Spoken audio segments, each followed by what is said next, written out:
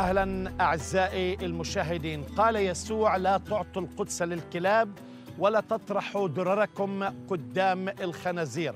فاذا الخنازير لا تميز ولا تعرف قيمة اللآلئ ولا تقدر قيمتها بل تدوسها بأرجلها. وهكذا الكلاب المتوحشه الكلاب الضالة بتميزش بين لحم المقدس وبين اللحم اللي بتتهافت عليه في الشوارع بتعطيها بتعض حتى إيدك وبتحاول تمزق. وأنا عندي قصص كتير مع الكلاب أكثر من ثمان أكثر من ثمان مرات هجموا علي كلاب وتعضيت. فبعرف شو هي الكلاب الضالة أو المتوحشة بهمهاش شو بتقدم لها. فاذا في ناس شو ما بتحاول تعطيها تعاليم قيمة جواهر قيمة من كلمة الله عم تحتقر مش عاوزة تتعلم مش عاوزة أي إصلاح لمن يقدم لها النصيحة المهمة. يصل فيهم الوضع إلى حد لا يستطيع الإصلاح وأصابهم المثل الصادق كلب قد عاد إلى قيئه وخنزيرة مغتسلة إلى مراغة الحمأة.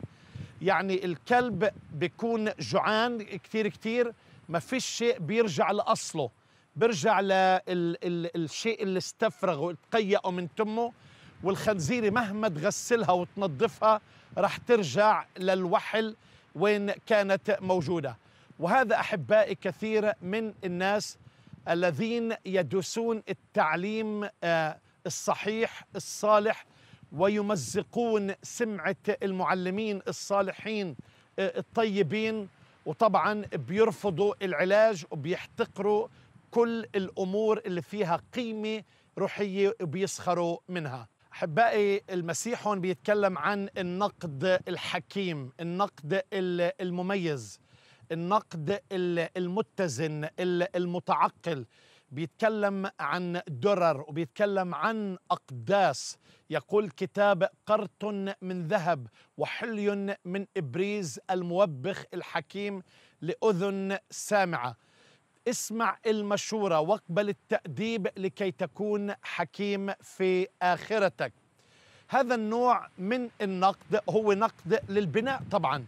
نقد حكيم لأنه بيتكلم عن أقداس وبيتكلم عن درر.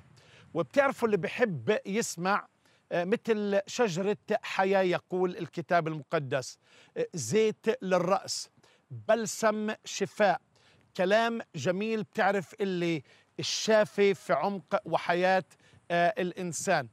تعرفوا أحبائي تاريخيا الكنيسة كانت تعلم في الديداكي اللي هو تعليم الرسل استخدمت هذه الآية لغير المعتمدين إنه ممنوع ياخذوا من مائدة الرب يتناولوا الخبز والخمر.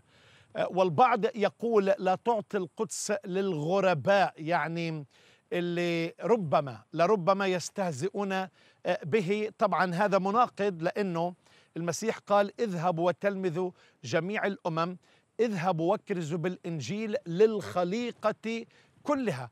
وفي ناس اللي كانت تقاوم مثل شاول الطرسوسي والرب لمسه وغيره. وهكذا كثير من المشاهدين اللي تغيرت حياتهم كانوا قبلا أعداء ومستهزئين ومحتقرون لكلام الله. لكن اليوم أمناء بحبوا آه الرب. لكن في نوعية من آه الناس تحب أن تسمع النفاق آه الكلام اللي بريحها.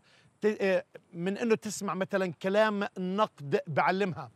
ولما بتقدم مثلا نصيحة أو بتقدم نقد بناء بتصير تتجنبك ابعد عني وبتصير تتحايدك تتفاداك طبعا.